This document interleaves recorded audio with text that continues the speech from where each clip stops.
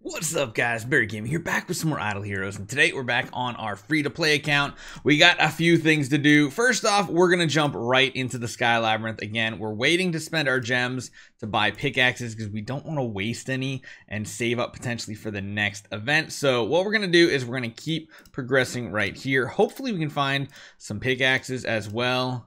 Found the exit, which is awesome. We claim that out. We're going to use one more active from this uh, Asmodel, and then we're going to swap over to Queen. Um, don't mind grabbing that as a bonus. So we're going to go one, two, and then smash right here. Then we're going to hard swap over to you, and we're going to go to Queen afterwards. Let's see if we can get a pickaxe. That would be absolutely awesome. Right here. Nope nope, nope, nope, nope, nothing. nothing of that was really great. Uh, but we do get to continue on, go down to the next level here. And yeah, we get 10 more of that Dragon's Tribute. Holy cow.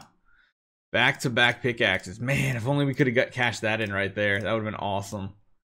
One, two, three. Uh, where's that at? Okay, so we can do that one, that one, claim all that. Okay, so we got some progress, uh, and we got some more loot which means we can now, let's just double check. We're not buying those guys. Wishing Fountain, we're going to get five more here, but we got to finish those out. Most likely after uh, Aspen Dungeon opens on what?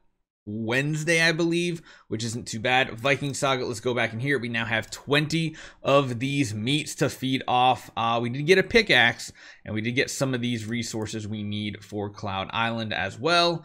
Uh, only one pickaxe out of all that. That kind of felt a little bad. we only hit one. Oh, man. There's a ton of them there, but we're just not getting access to them. So, let's check it out. The one thing we are really struggling to get are the stones on this one. We have tons of wood. And honestly, like... I guess if it worst comes to worst, we do get some of these things here that'll give us some other Cloud Island resources. I would just much rather prefer getting more of these skins overall. Like you or yeah, I mean, um Nah, I guess this one's kind of the one I really want to go for, but getting 13 doesn't look like something we're really going to be able to do here. Uh, we've obtained 97. Oh, so three more points in this event will get us to here, which is good. Yeah, feels a little bad because honestly, I wouldn't mind continuing to upgrade and get some skins for the second plots over here. Uh, we do have a little bit of leveling we can do here.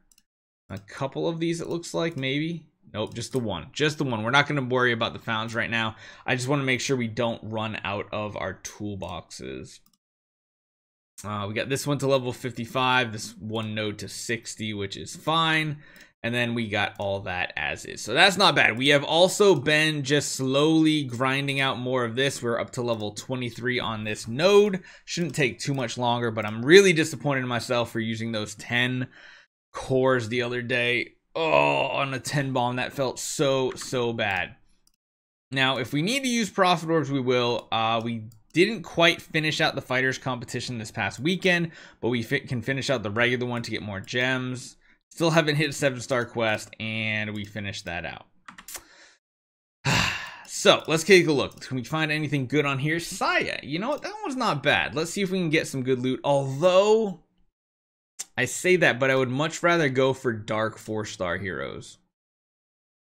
Oh, but we really need Urania copies now. All right, screw it. We're going for the Urania. That's going to be the, one of our next build heroes. So if we can get a hero copy, that would be awesome. Oh, we actually hit the Urania. Nice.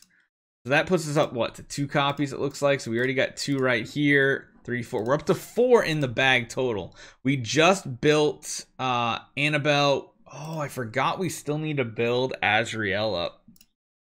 But again, we don't really have any food right now or any hero copies far as resources go, of course, we got one from this event, so that one's cool. That Azrael right there. Got two more there, so that means we just need one more.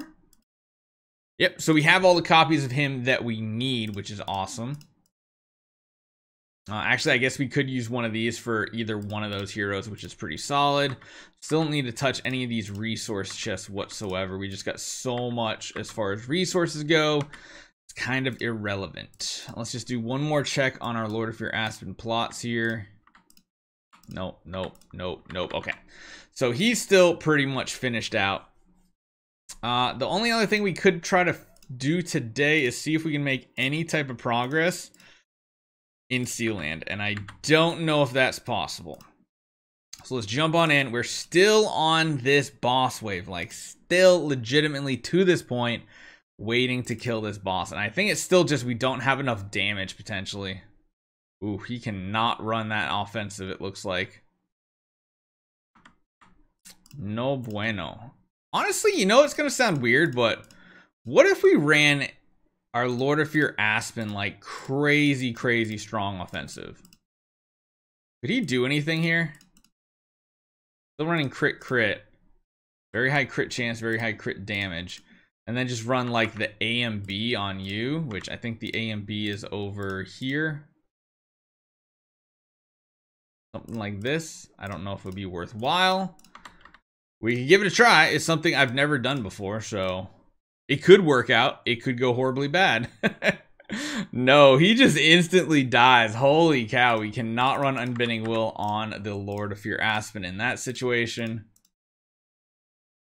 And he does need to be faster. Let's just see if the speed nodes here are enough. Little testing. So uh, just unique because we want to try to see if we can kill the boss off like immediately. Nope, he they all still go before Lord Fear Aspen. We definitely need him to have speed then. Okay.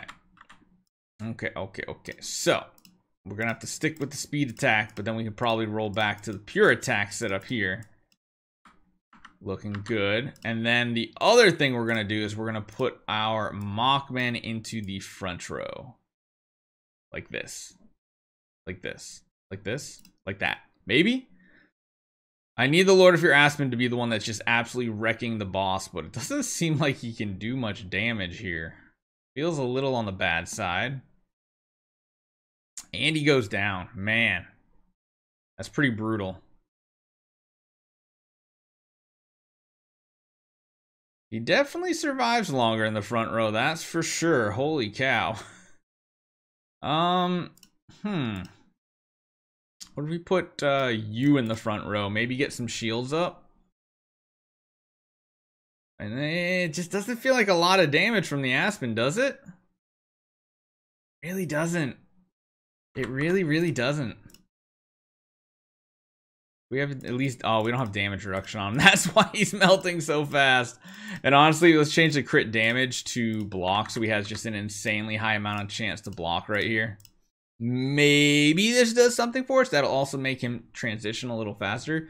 See, that's like good damage. We have to somehow like get a second active off on the Aspen. I mean, the taunt does help protect him. It's it's close because I think if Aspen can kill the boss, I think Mockman can take the well. Mockman might be able to do it from here, honestly. I don't know. Getting sealed feels really bad, but this might be the way. Hold on a second. I'm to put you back in the front row. But it really just comes down to Lord Fear Aspen hitting that boss really, really hard. Ooh, we actually got our shields up too. That's really good for us. Oh, we need him to get a second active off, I think. This is totally, totally possible and we now found the new way for us to do this. It sounds really weird, but it is the way it seems like.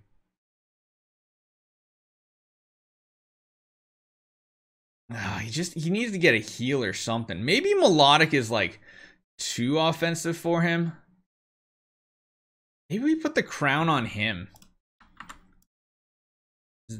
Maybe? Like, I know it sounds weird, but like Still build him offensive, but he's not getting that huge big burst damage. I don't know. He's going down too easy. We need him to get like multiple actives off, it seems like. There we go. There's an active there. If you can tank and get a few actives, like I was saying, that would be good. Yeah, he's definitely living a lot longer here. He's going to get another full heal off. It's not a ton of damage, though. Hmm. Maybe we go back, because at least the last time we did this, it did work out. I don't know. It sounds so weird to have this team set up like this, but it could work out really well, honestly. Even the carry live with Lord of Fear Aspen Fear Effect is really good too.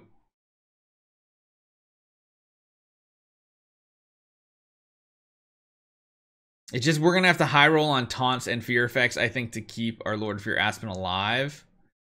Oh, that actually was really good. Holy cow, he full healed as well. Fear them, fear them. No, they're not feared. no, this is totally the way. I did not think that would be the answer, but it kind of looks like it is. So I think that's how we're going to continue to push on a daily basis. Who would have thought? Who would have thought? Crown on Aspen, AMB on Mockman, front row start. Really weird, but kind of worked. Hopefully you guys enjoy this one. I'll see you guys next time.